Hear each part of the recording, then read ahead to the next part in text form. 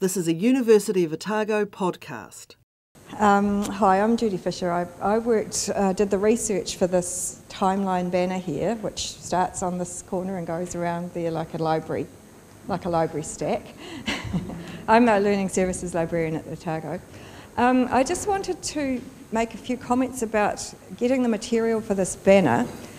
We had probably enough for four, four banners if we just looked at text sources because there's a lot of text about distance learning available through the Hocken Library and various archival kind of um, repositories. But we really struggled with getting images.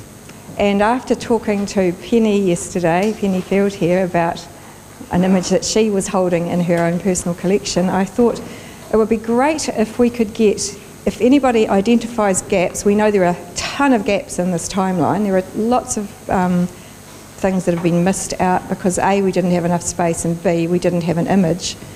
Um, so if anyone walks around here and goes, oh, I remember that, I've got a picture in my office or wherever, we would love to get it from you. And um, Gala, who I thought might be here by now, but she's not, Gala Hessen, our designer, um, is also doing an online timeline that will be available, and we can update that as we get more and more information. So there will be more things going on the online uh, timeline um, as we get them. So we would love to get anything else, or if, if there's something wrong, let me know. I'm, I'm sure it's not 100% correct. There was so much, it was so difficult to sift through all the information that we found, or that I found, um, that there's bound to be little errors in that timeline. And I know there are definite errors because Gala shifted a few things around just to make them fit at times.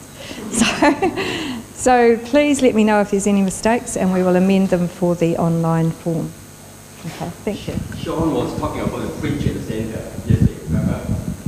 And I doubt very much the central unit, university unit, will have done anything like what Judy has done, collecting artifacts for something, for uh, distance programs or teaching programs. If you ask someone in the university, is there a history timeline for the university throughout the whole hundred and how many, 40 years or whatever? The evolution of the programs, nobody can tell you. I'm sure nobody can. But if you ask distance learning, we have a timeline, everything documented.